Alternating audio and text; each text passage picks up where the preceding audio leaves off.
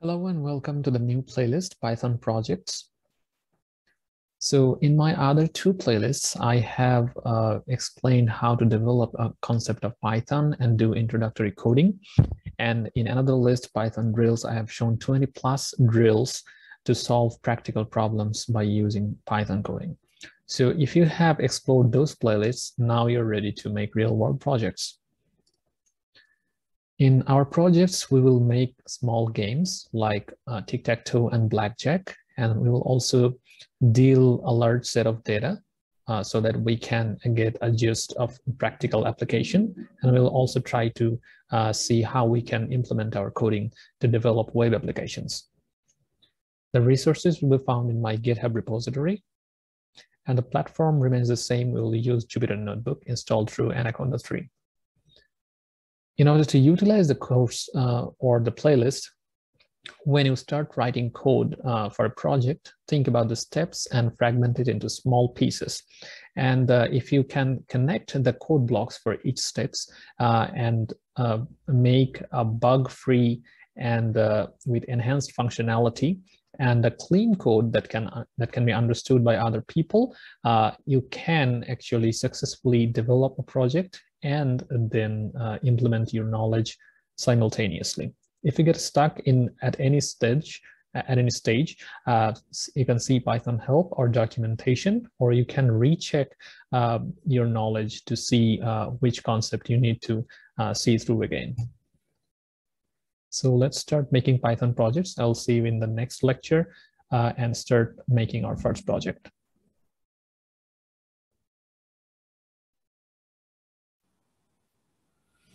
Hello and welcome to the Python Project 1 tic-tac-toe game. Here we will make the simple game of tic-tac-toe and uh, it's kind of a hello world project. Many programmers start writing projects by uh, making this game. So in order to make the whole game, we have to segment the problem into small pieces. And uh, here you can see the small steps that it will take to write the whole game the, in the first step, we want to see a representation of the board. That's why we will print a board and fix the coordinates. Let's say uh, in a tic-tac-toe game, there are nine squares, right? So uh, we will uh, mark these coordinates uh, with nine numbers, one, two, three, four, five, six, seven, eight, nine, starting from the lower left. And at step two, it will come to the players. Uh, we will uh, assign markers to players. Uh, let's say the first player will take X and the second player take zero or O, whatever uh, fits, so that we can distinguish one player's input from the other. And we'll also take the player input. Uh, uh, the first player will give their input as X and the other player will give their input as O. At Step three, we will put a marker on the board uh, uh, just to check whether our assignment of coordinates is uh, working correctly. And uh, step four, uh, this is kind of a set of conditions, uh, the winning game conditions. We know that in tic-tac-toe, one player wins if they can put their inputs in diagonally, vertically, or horizontally. If uh, the three markers are in line, then we will uh, uh, set that as a game definition, as a winning condition. At step five, we will take uh, the player's input to see who goes first, and we will uh, take a random function uh, to assign the first, assign a marker to a first player or assign a, play, a marker to a second player, just to decide every time the game is played which player uh, is supposed to go first. At step six, uh, we will have to check whether the game is still on. Let's say several players have submitted uh, their inputs and we have to check whether the game is still ongoing, whether the winning condition is not met yet and a space in the board is still available. And also we have to check whether the board is full. If the board is full, eh, we will have to decide whether uh, player one or player two has uh, won or uh, the game is drawn. And also uh, at step eight, we have to check against the player's input and uh, we have to check the board simultaneously. I will take a coordinate from the player. Let's say uh, the player uh, in the game, uh, uh, the player as an input will input X or O, and uh, we will ask in which coordinate you want to put your marker. Let's say he or she will say number eight, then we'll put that marker in the in that coordinate, but before that we'll check whether it's available or not. And at step nine, we'll check whether the game has ended. If it is ended, we will keep an option to play again. Just a typo here. And at step 10, this is the hardest part, uh, we have to combine all the code blocks from step one to step nine. Uh, we'll uh, combine all these uh, fragments into one piece uh, by using loops and conditionals uh, to successfully run the game. So let's get started writing, writing the code.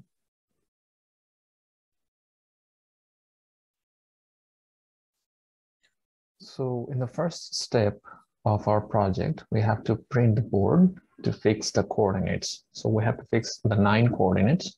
Uh, starting from the upper row, uh, we will uh, the, uh, we'll give them some names, coordinates seven, eight, nine.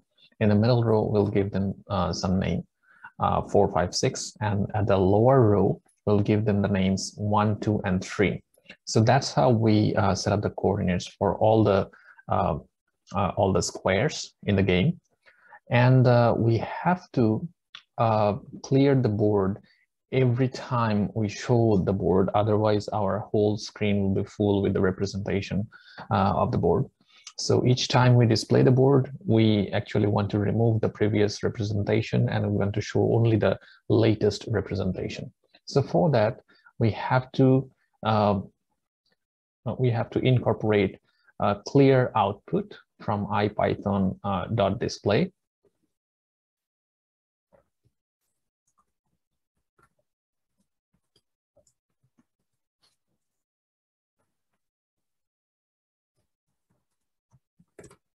So from this ipython.display module, we are importing clear output. That is uh, clearing all the outputs, uh, all the previous outputs and only keeping the latest one. So we're writing a function called display board, which will call the board and print the coordinates. For printing, we want to make it a little bit aesthetic. So let's say we show this board as this just to show the sticks, uh, uh, the ranks and files that go inside the board. And for the first line, we have three coordinates, seven, eight, and nine. So let's say we have three coordinates like this. We start with a space and the board seven, and then a vertical line, and then board eight, that is the eighth coordinate, then, then another vertical line, and then board nine. So just a fraction of the uh, upper coordinates.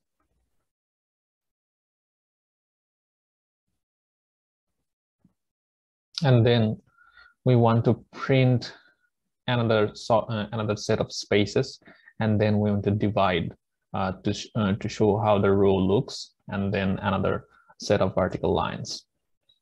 So this we can actually um, replicate for the middle row also. In the middle row, the, uh, the three coordinates will be four, five, and six. So it will call, uh, it will print the fourth, fifth, and sixth coordinates.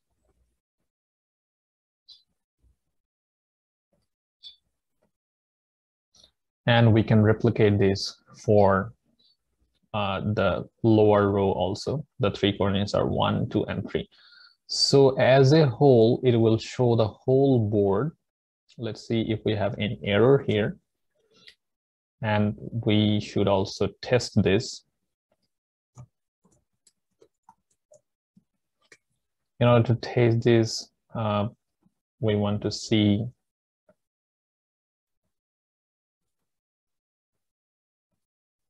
we're going to define a list containing all the coordinates of the board.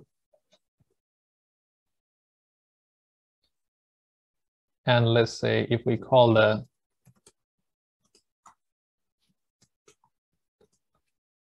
if we call this function display board with our test board, the number of list, whether it shows this.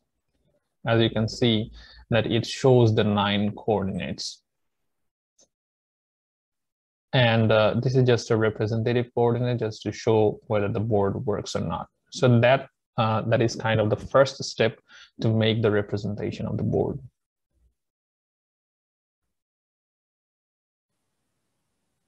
Now we have already made the representation of the board. Now let's go to the second step, assign markers to player and take player input.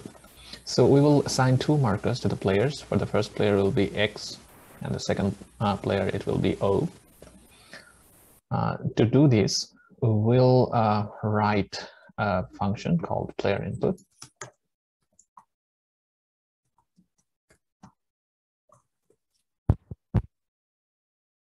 And uh, to save the markers, we will define an empty string. And we will uh, continue to keep the input from the player as long as they, uh, until they input X or O. So our condition will be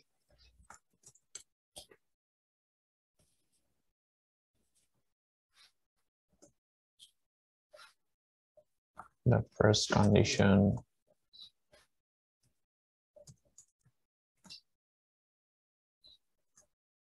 is for X and the second condition is for O.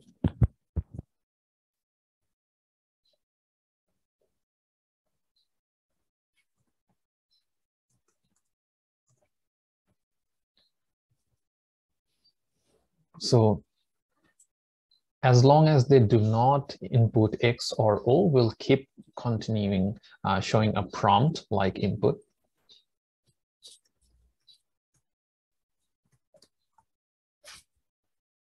Inside, we can ask a question like for the first player.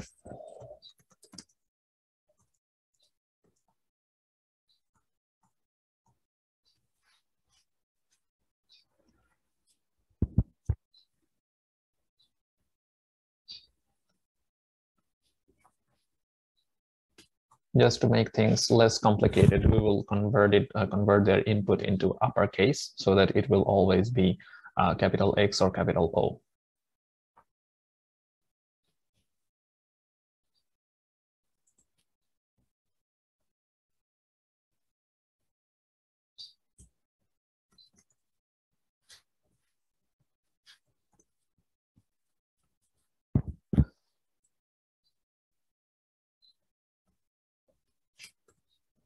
let's say the first player wants to be X, then we will set that as a first marker.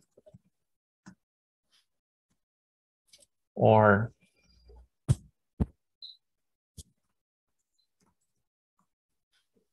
it will be the opposite.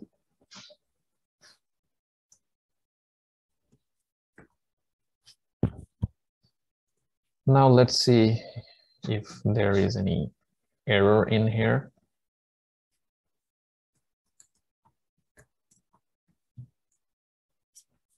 Let's say I input X.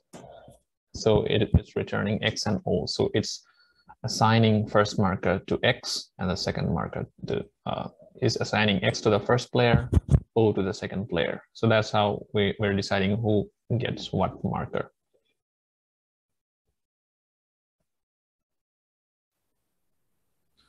Now in step three, we have to put the markers uh, that we are uh, we are taking from the players that we have actually to put them on the board.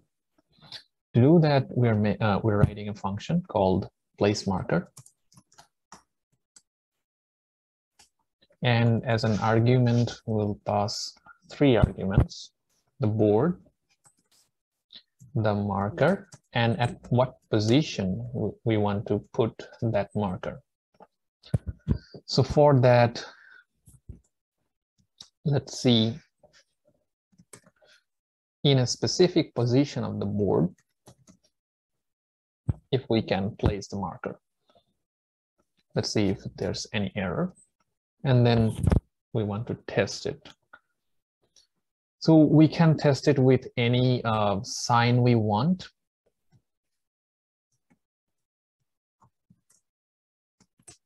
We want to call this function with three arguments. Uh, as the board, we want to call the test board that earlier we have written, the test board, this condition, uh, the representation with nine coordinates. And uh, let's say at position five, we want to put a percent sign.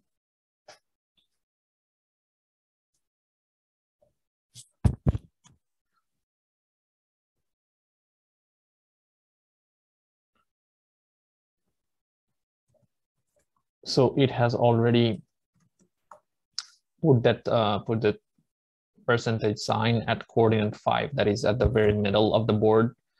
Uh, to display that, we want to call the display board function that we have earlier shown, display board with the test board, the test board representation. You can see that at coordinate five at the very middle, one, two, three, four, five, uh, it has put a person. So that's how we can actually manipulate any coordinate in the board.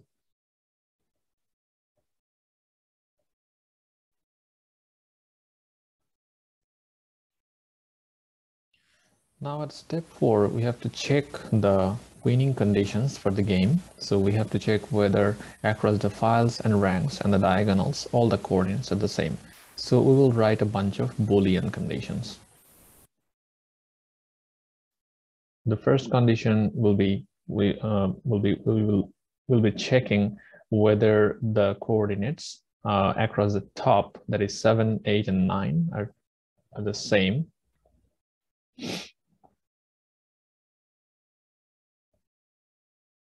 Then we'll check across the middle, that is uh, four, five, and six.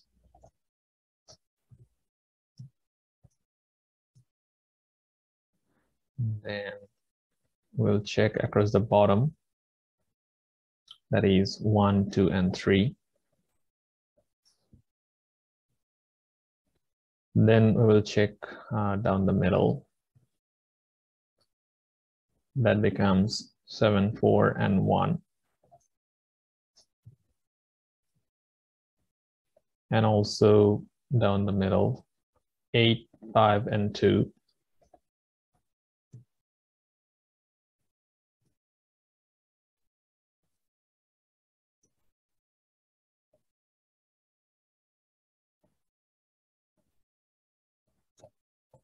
Yeah, just a parenthesis here.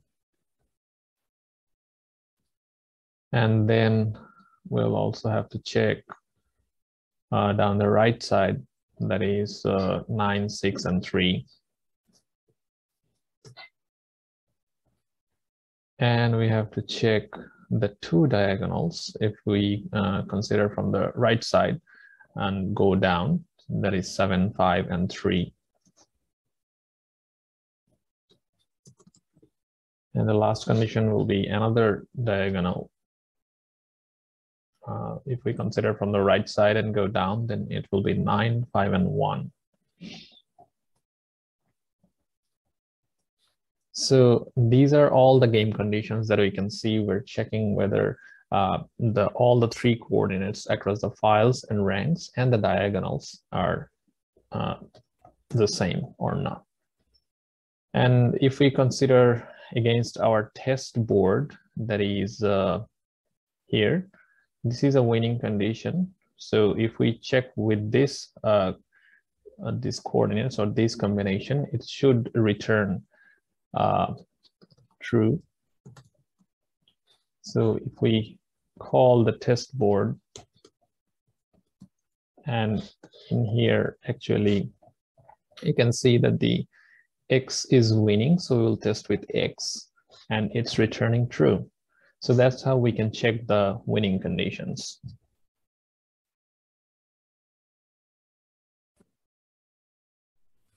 At step five, we want to randomly decide who goes uh, who goes first. So we will import the random module. And then uh, we will write a function called choose first.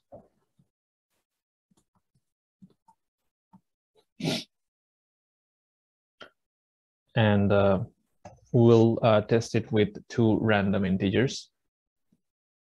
If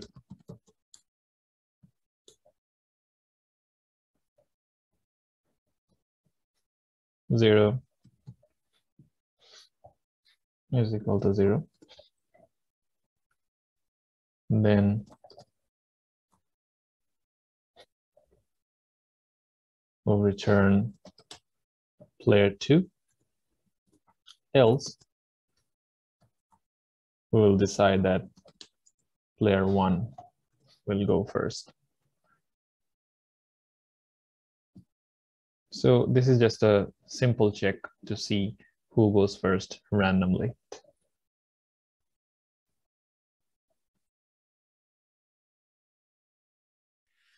Now at step six, we have to check whether the game is still on. The game will go on as long as there is a space in the board is available. Uh, to check this, we'll have to see, um, we'll have to write a function called space check.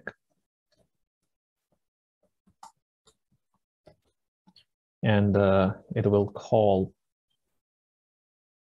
both the board and uh, position. And we'll have to write a Boolean condition. Return um, board position. We will check with a coordinate and see whether it is equal to uh, space, that is, whether it's uh, a space or not.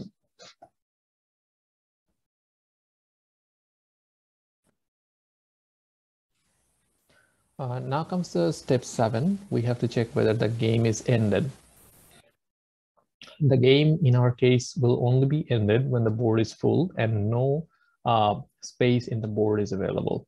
So for that, we're writing a function called full board check, which, which will call the board, and we will uh, run a for loop.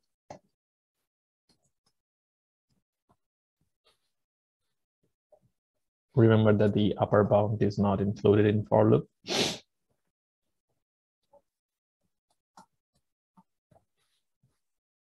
And we will uh, call the space check uh, that we have written in the uh, part six we will check against the board positions.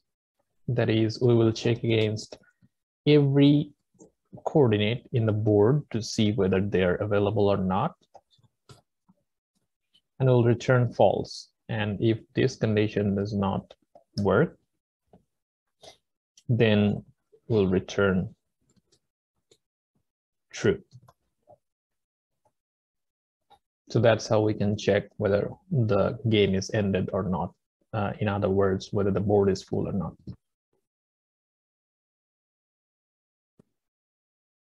Now, in the previous steps, we have actually checked whether the board is full or not and whether the uh, whether the space in the board is available, whether game is running or not. But in the actual game, we have to check it against the player's input. Uh, so the players will input their uh, intended coordinates like 1, 2, and 3 and we have to check against their input whether that is uh, that is uh, available or not. And we have to check uh, in every step whether the board is full. So we are writing a function called player choice which will call the board. And we'll start with an initial position zero. And we have to write a for loop for uh, checking against the player's input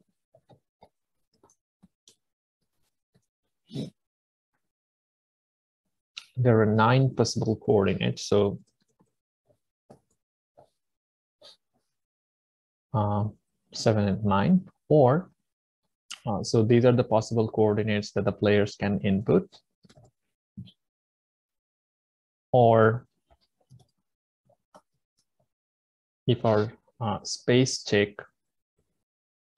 against the board at particular position are not included, then we'll keep asking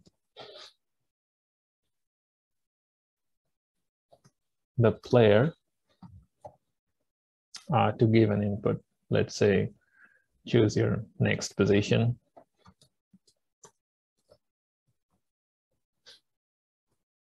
One to nine. So they have to, they are forced to uh, give an input uh, in this range. And at the end, we'll return that position. So that's how we are actually taking the player's input and uh, checking against uh, the board and the position, whether that's a true, uh, whether that's a viable position or not.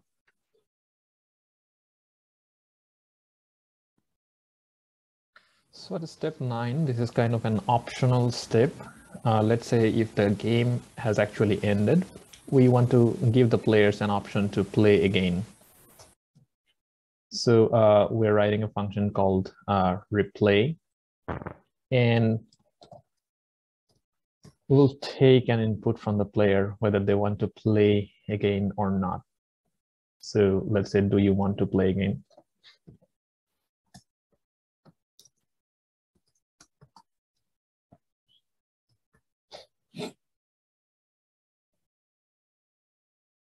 And uh,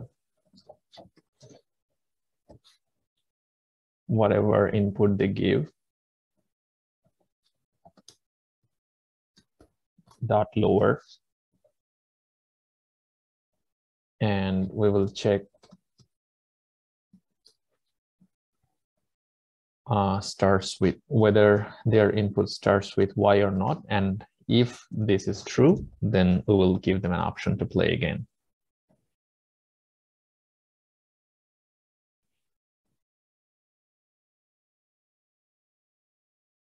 So in the earlier nine steps, we have actually uh, fragmented the whole problem, the whole gaming project into nine small steps. And now in step 10, the final step, we have to combine the code blocks to actually run the game.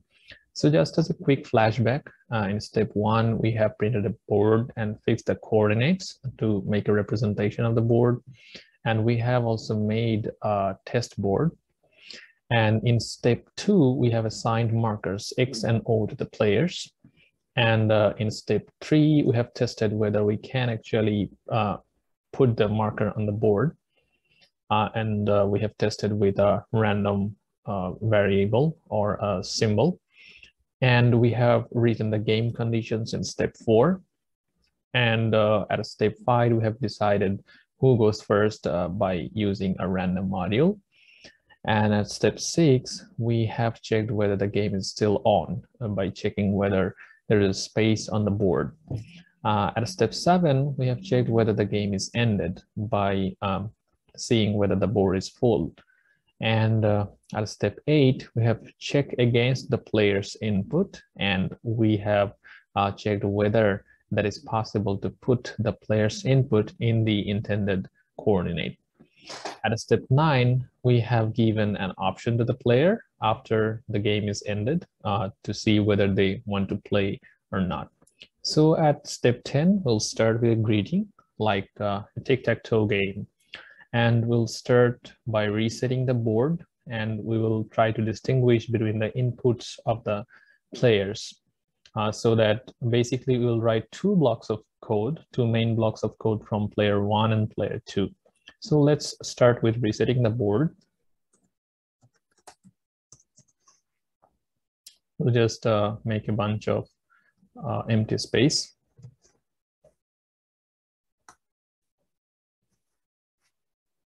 Let's call it the board. And we'll take player input.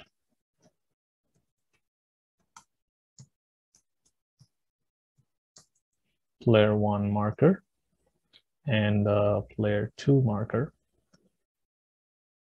And this is actually will be, let's say by default, the game uh, will be running.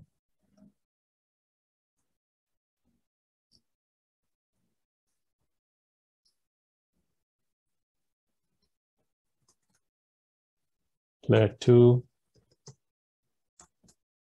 marker and uh, equal to So we will take player's input.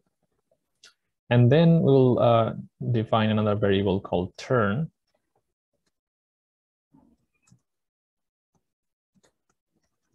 by using the choose first that we have uh, defined earlier. And then by taking that input, we'll uh, print something like turn plus go first, just to let them know which player is going first. And then play game, just to make sure they're ready to play.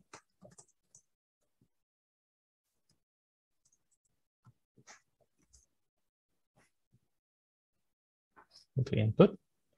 And then inside we'll start an conditional. And uh, if they answer yes, then the game will be on.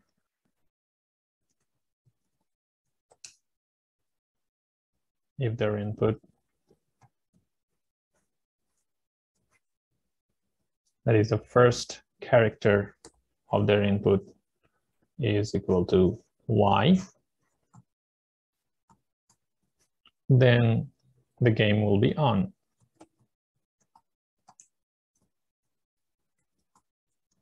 Else the game on will be false, that is game will not be on. And let's say by default the game is on.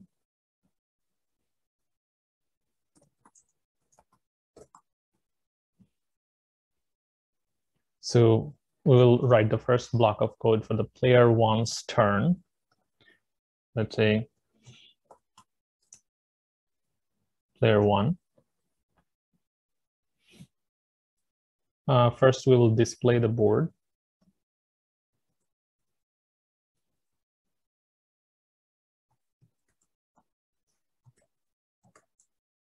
The board. The representation that we have made earlier. I will start by uh, displaying that. And then we have to decide on the position.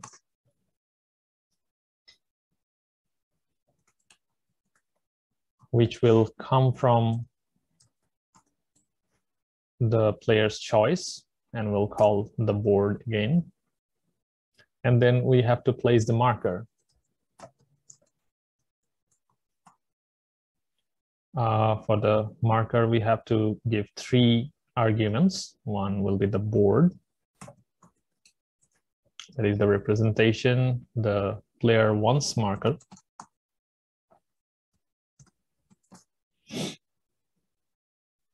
And the position, at which position they want to put the marker.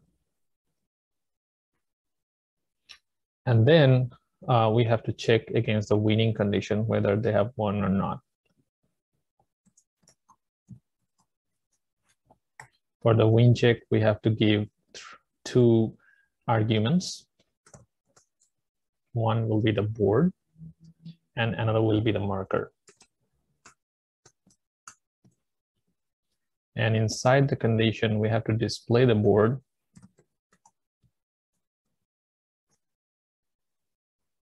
Um,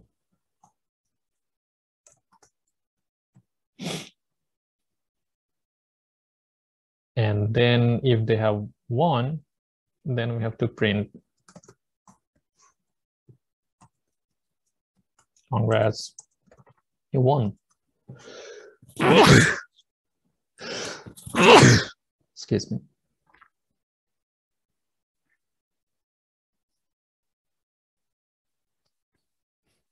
And then uh, the game will no longer be on if someone uh, has already won.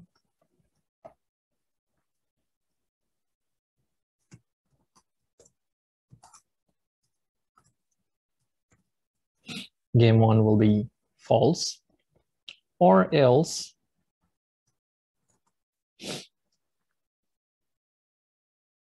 and uh, we have otherwise the board could be full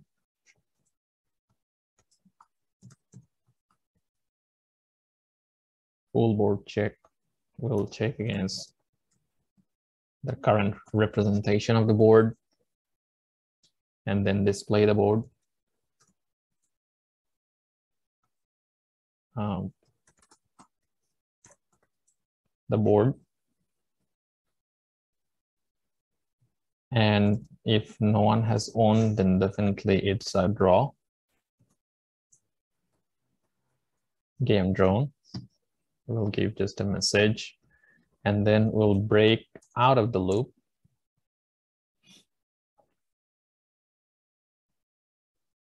Or uh, the turn will no longer be for player one and we'll go to uh, player two. Player two. So we have written the uh, code block for the turn for the first player. And uh, it is actually inside a while loop. And uh, we have to uh, repeat this uh, coding again for the second turn, that is for the player two's turn. And uh, we have to write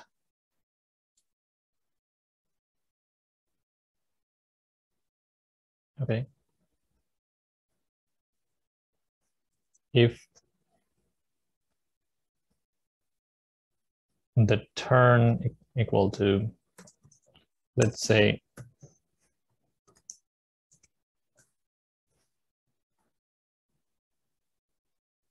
we are playing for player one.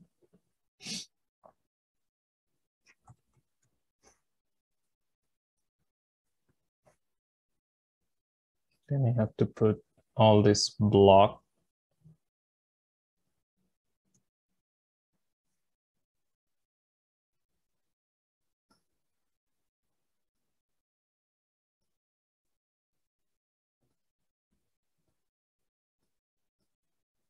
then I'm just uh, indenting all these things right.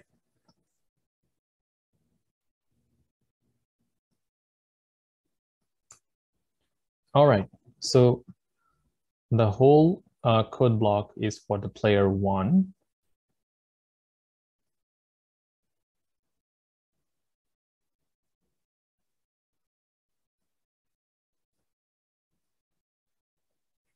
Just to make sure we understand this portion.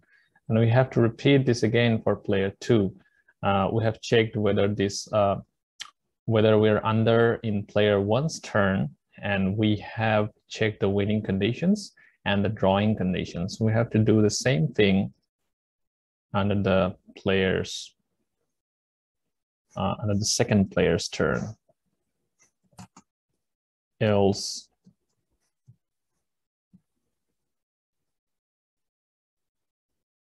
um, just to make sure player two. This is uh, player two's turn. And we do the same thing again.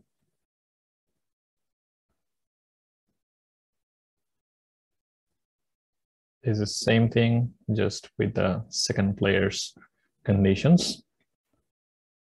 We place the second player's marker and we check against that player uh, two's marker. And if he or she has won, we print that, that message and otherwise the game is a draw and uh, we break out, the out of the loop or else we turn to player one again.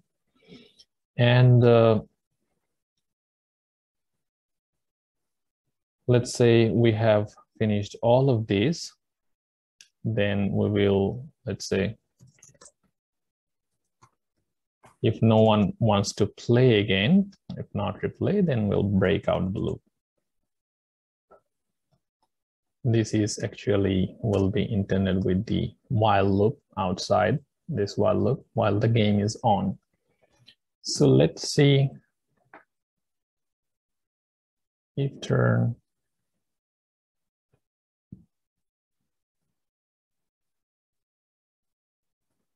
is equal to Uh, so uh, just to make sure we have combined everything correctly, uh, we have printed a greetings and while the game is by default uh, playing, uh, we have taken the markers and we have decided who will go first. And uh, then if they want to play the game, the game is on. And if the turn is for player one, we check against the game winning or game drawing conditions, or else we do the same for player two.